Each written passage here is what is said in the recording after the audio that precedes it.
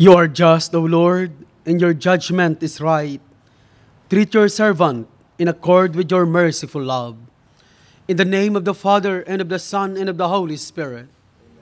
The grace and peace of our Lord Jesus Christ, and the love of God, and the communion of the Holy Spirit be with you all. My dear brothers and sisters, as we prepare to celebrate the mystery of Christ's love, let us all acknowledge our sinfulness and ask the Lord for God's pardon and peace.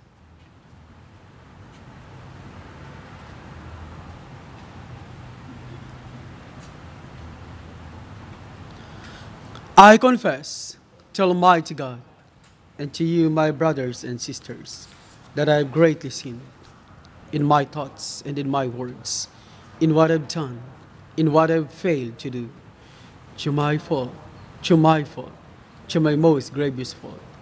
Therefore I ask the Blessed Mary, ever Virgin, all the angels and saints, and you, my brothers and sisters, to pray for me to the Lord our God. May Almighty God have mercy on us, forgive us our sins, and bring us to life everlasting. Lord, have mercy. Christ, have mercy. Lord, have mercy. Let us pray.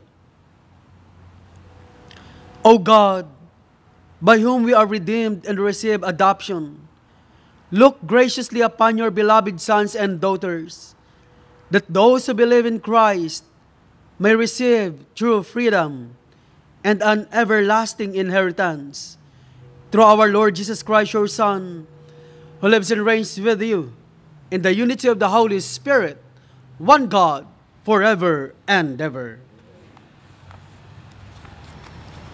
Let us offer this Mass for the souls of Nelson, Liz, and Annette Costa, Ace, Epifania, and Eufemio Villanueva, Lawrence Consigo, Brayon Winchell, Roger Traina, Gwendolyn Pauli, Diolinda and David Freitas, Father Nomer Lozano de Lomen, in thanksgiving for prayers answered, intentions of the Segura family and Miller Go, and for the gift of life of Jelen San Gabriel Seriaco.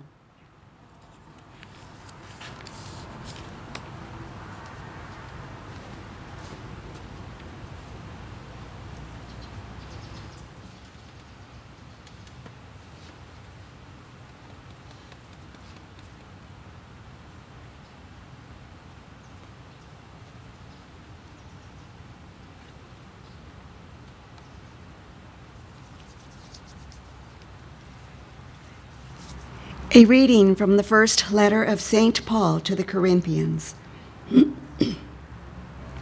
Brothers and sisters, if I preach the gospel, this is no reason for me to boast, for an obligation has been imposed on me, and woe to me if I do not preach it. If I do so willingly, I have a recompense, but if unwillingly, then I have been entrusted with a stewardship. What then is my recompense? That when I preach, I offer the gospel free of charge, so as not to make full use of my right in the gospel. Although I am free in regard to all, I have made myself a slave to all, so as to win over as many as possible. I have become all things to all, to save at least some. And this I do, for th- I do so for the sake of the gospel, so that I too may have a share in it. Do you know that the runners in the stadium all race in the race, all run in the race, but only one wins the prize? Run so as to win. Every athlete exercises discipline in every way. They do it to win a perishable crown but we an imperishable one. Thus I do not run aimlessly. I do not fight as if I were shadowboxing. No, I drive my body and train it, for fear that, after having preached to others, I myself should be disqualified.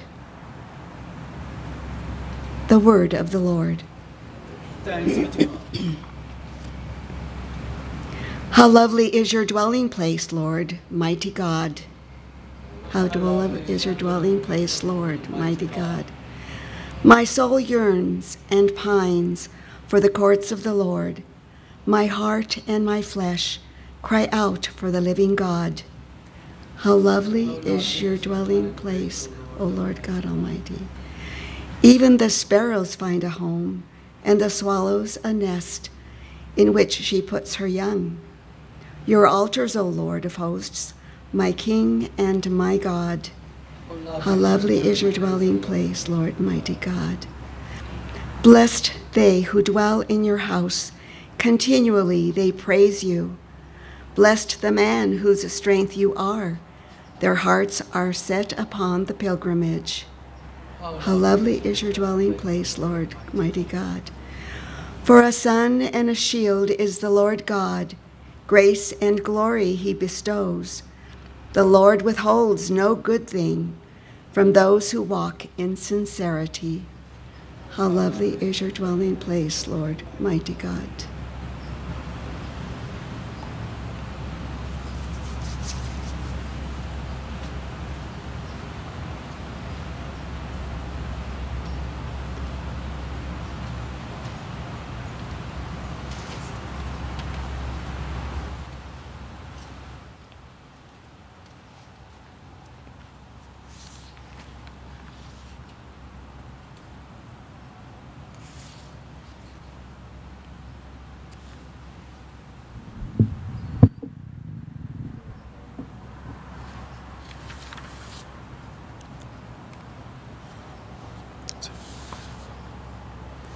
Alleluia, Alleluia.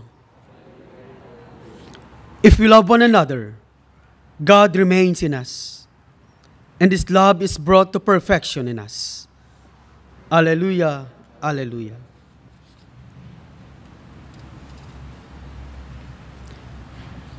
The Lord be with you.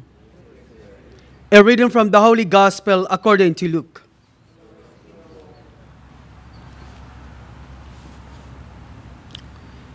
Jesus said to his disciples, To you here I say, love your enemies, do good to those who hate you, bless those who curse you, pray for those who mistreat you. To the person who strikes you on one cheek, offer the other one as well. And from the person who takes your cloak, do not withhold even your tunic. Give to everyone who asks of you. And from the one who takes what is yours, do not demand it back. Do to others as you would have them do to you. For if you love those who love you, what credit is that to you? Even sinners love those who love them. And if you do good to those who do good to you, what credit is that to you? Even sinners do the same. If you lend money to those from whom you expect repayment, what credit is that to you? Even sinners lend to sinners and get back the same amount. But rather, love your enemies and do good to them, and lend expecting nothing back. Then your reward will be great, and you will be children of the Most High. For he himself is kind to the ungrateful and the wicked. Be merciful, just as also your Father is merciful. Stop judging, and you will not be judged. Stop condemning, and you will not be condemned. Forgive, and you will be forgiven. Give and gifts will be given to you. A good measure, packed together, shaken down, and overflowing, will be poured into your lap. For the measure with which you measure will in return be measured out to you. The Gospel of the Lord.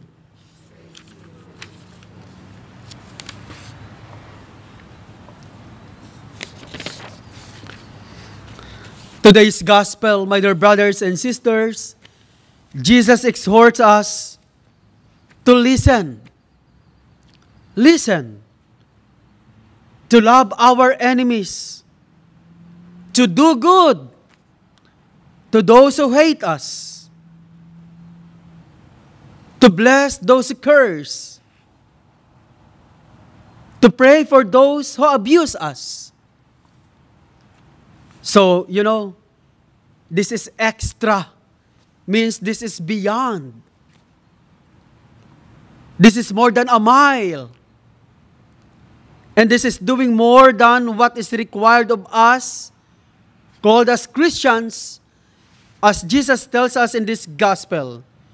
And this is what makes us Christians different from others. So Jesus is advising us to change, to change this mindset of reactive love, to bring our understanding of love to a much higher level. Higher level. That kind of love. Perhaps if we can, to the level of God's love for us. Do you know the level of God's love for us?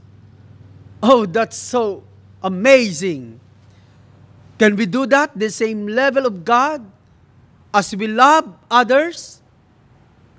But are we capable of raising to a higher level our understanding of love and on how we give love?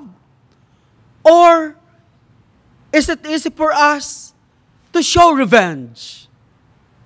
And that is difficult, my dear brothers and sisters. Because revenge is the action generated by a deep anger. And that deep anger is what we call resentment. When you have that resentment, you know that is your deep anger within you. That's why you have that kind of feeling, that resentment. You know, it is like a trap rattlesnake. Then, when angry, it is said that it will bite itself. And that is exactly what we do to ourselves. When we let anger, when we let bitterness get the better of us, we end up biting ourselves, not our enemy. Meaning to say, we end up inflicting pain on ourselves. It is us who experience first that pain and not our enemy. The truth is that we are harming more ourselves than we are harming our enemies. And when we became to consume with resentment, naturally, what happened? We have that sleepless nights because of that anger, that resentment. Thus, we feel sick the next, the next day. We experience, and we experience hypertension, too much stress, and heart palpitation, and any kind of anxiety, worry, strain, pressure. And that we get when we are angry. And when we have that deep anger, and that is what we call the resentment. That is why, my dear sisters and brothers, nowadays, medical experts, like the doctors, tell us that many of their patients are victims of their own anger, victims of their own resentment. They are sick because they are being eaten slowly by their own bitterness, anger, and hatred. And the best medicine is taught by Jesus today. And what is that med- the best medicine? As what Jesus said in today's gospel, love your enemies. Because love frees. We are freed. We are free like a bird in the sky when we love our enemies. Not only our enemies, but of course ourselves. We become free from the prison we have made for ourselves. The prison of anger, the prison of hatred. And when we forgive our enemies, we let the prisoners go free. And who is that prisoners? Ourselves. So the gospel tells us to examine how much we love or how we love for that matter. We are called to love God. And love for God is manifested by the way we love our neighbors. How? Jesus tells us in today's gospel to do good. Do good. This means that we must not be selective in doing good. We must not be choosy. Oh, this is what I like only. Not that one. Not to be choosy. Not to be selective in doing good. Not to be choosy whom we have to help, whom we have to pray for, or whom we have to take care of. No matter what a person does to us, no matter if the person hurts or insults us, we must continue to accept. We must continue to understand. We must continue to forgive that person. So our love must assume a Christian character. Not in feeling good, but in doing good to others. Not by feeling, but doing good to others, no matter what. Like what Jesus preaches and does, our love must be compassionate. Our love must be unconditional. Our love must be limitless. Our love must be healing and forgiving. So that's why Jesus tells us in this gospel For if you love those who love you, what credit is that to you? Even sinners love those who love them. And if you do good to those who do good to you, what credit is that to you? Even sinners do the same. So, my dear brothers and sisters,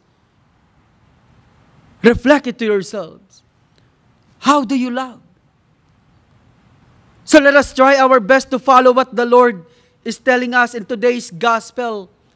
Stop judging so that you will not be judged. Stop condemning and you will not condemn. Forgive and you will be forgiven.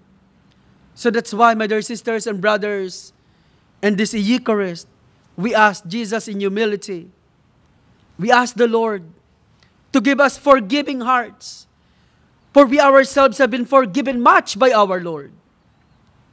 In humility, we also ask the Lord to remove, remove our judgmental attitude, our condemning hearts, and give us understanding and compassionate hearts. So ask yourselves, my dear sisters and brothers, if you are holding on some anger, hatred, bitterness in your heart, and ask, Don't you want to be free? Because only love can set that free and nothing more. Amen.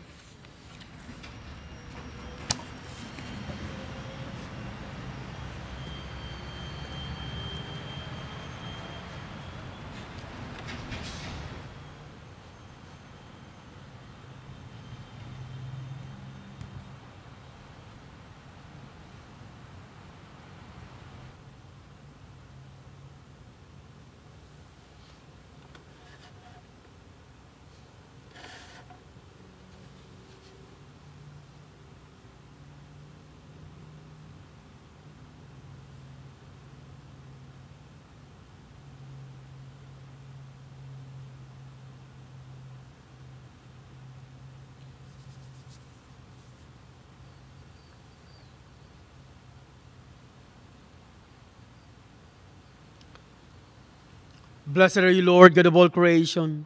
For through your goodness we have received the bread we offer you, fruit of the earth and work of human hands. It will become for us the bread of life.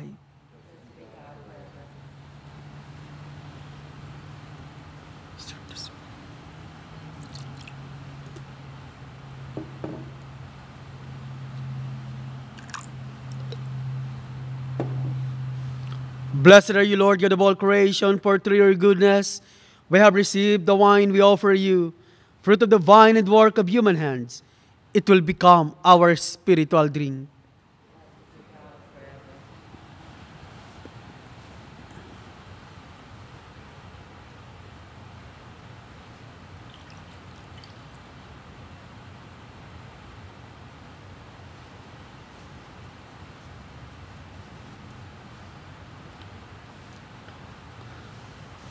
Pray, my dear brothers and sisters, that my sacrifice and yours may be acceptable to God the Almighty Father.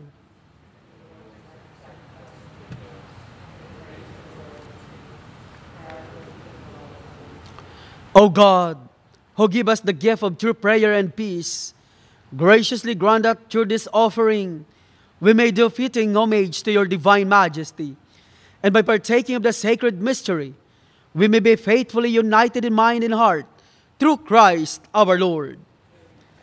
The Lord be with you. Lift up your hearts.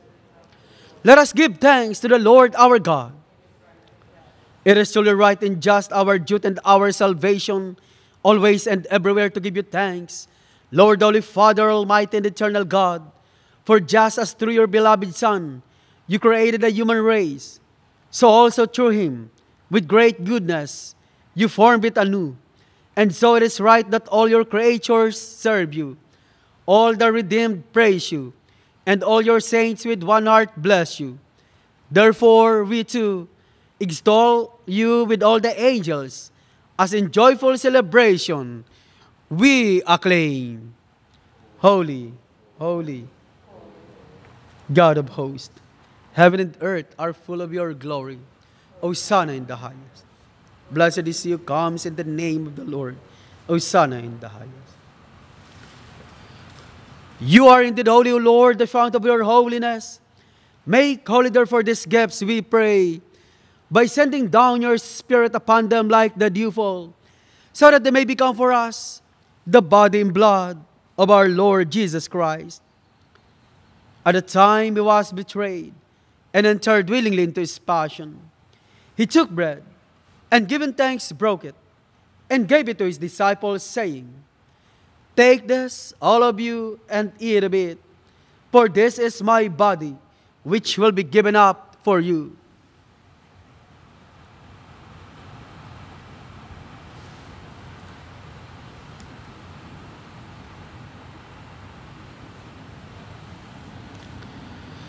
In a similar way, when supper was ended, he took the chalice and once more given thanks.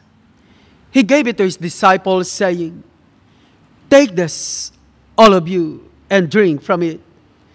For this is the chalice of my blood, the blood of the new and eternal covenant, which will be poured out for you and for many for the forgiveness of sins.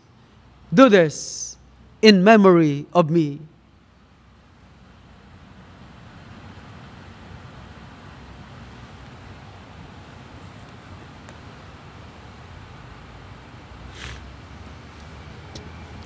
The mystery of faith. We proclaim your death, O Lord, and profess your resurrection until you come again. Therefore, as we celebrate the memorial of his death and resurrection, we offer you, Lord, the bread of life and the chalice of salvation, giving thanks that you have healed us worthy to be in your presence and minister to you. Humbly we pray that partaking of the body and blood of Christ, we may be gathered into one by the Holy Spirit.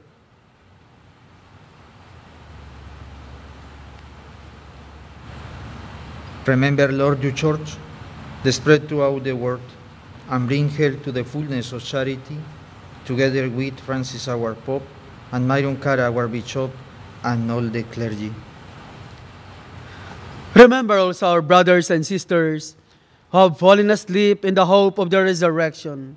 especially Nelson Liz, Nelson, Liz, and Annette Costa, Ace, Epifania, and Eufemio Villanueva, Lawrence Andrew Consigo, Brion Winchell, Roger, Roger Traina, Gwendolyn Pauli, Diolinda and David Freitas, Father Nomer Lozano del Lumen,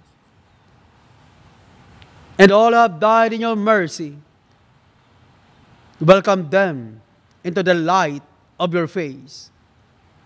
Have mercy on us all, we pray, that with the Blessed Virgin Mary, Mother of God, with Blessed Joseph, her spouse, with the blessed apostles, with Saint Bernard, Saint Magdalene of Canossa, and Saint Joseph Josephine Bakhita, and all the saints who have pleased you throughout the ages, we may merit to years to eternal life, and may praise and glorify you through your Son, Jesus Christ. Through him, and with him, and in him, O God, Almighty Father, in the unity of the Holy Spirit, all glory and honor is yours, forever and ever.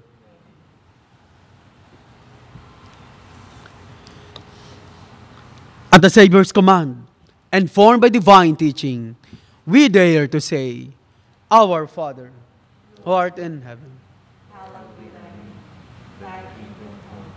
Thy will be done, on earth as it is in heaven. Give us this day our daily bread, and forgive us our trespasses, as we forgive those who trespass against us. And lead us not into temptation, but deliver us from evil. Deliver us, Lord, we pray, from every evil. Graciously grant peace in our days, that by the help of your mercy, we may be always free from sin and safe from all distress, as we await the blessed hope and the coming of our Savior Jesus Christ. Lord Jesus Christ, who said to your apostles, Peace I leave you, my peace I give you.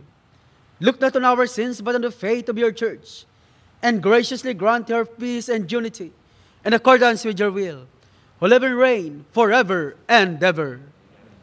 The peace of the Lord be with you always. Lamb of God.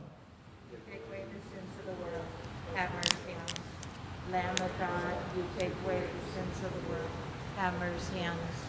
Lamb of God, you take away the sins of the world, grant us peace.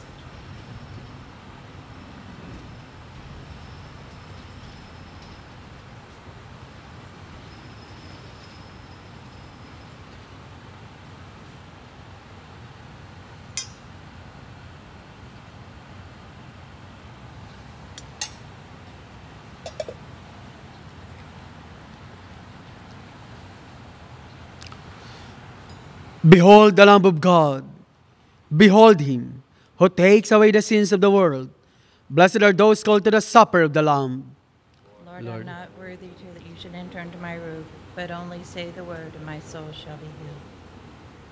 My Jesus, I believe that you are present in the most holy sacrament.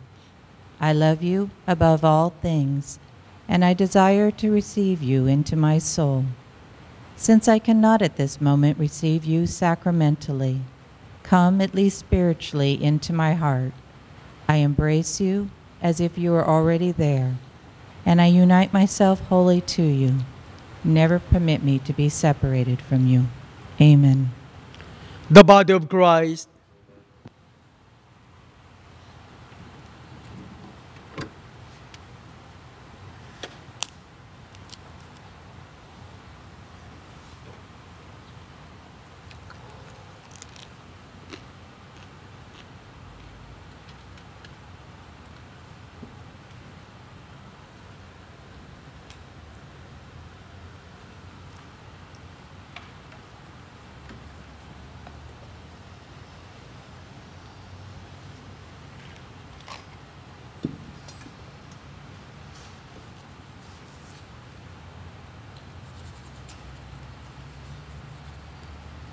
Mm-hmm.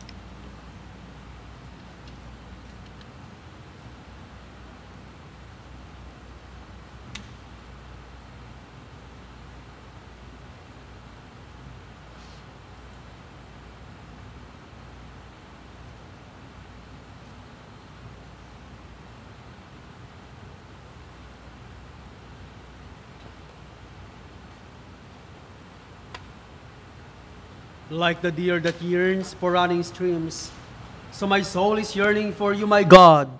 My soul is thirsting for God, the living God. Let us pray. Grant that you're faithful, O Lord, whom you nourish and endow with life, to the food of your word and heavenly sacrament, may so benefit from your beloved Son's great gifts, that we may merit an eternal share in his life, who lives and reigns forever and ever.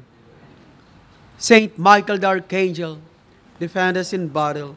Be our defense against the wickedness and snares of the devil. May God rebuke him, we humbly pray. And do thou, Prince of the heavenly host, by the power of God, cast into hell Satan and all the evil spirits who prowl about the world, seeking the ruin of souls. Amen. Most Sacred Heart of Jesus, Immaculate Heart of Mary, Saint Joseph, Saint Bernard, the Lord be with you. And may Almighty God bless you all, the Father, the Son, and the Holy Spirit. Our Mass has been offered. Let us go in peace to love and serve the Lord. Have a blessed day to all of you. Keep safe.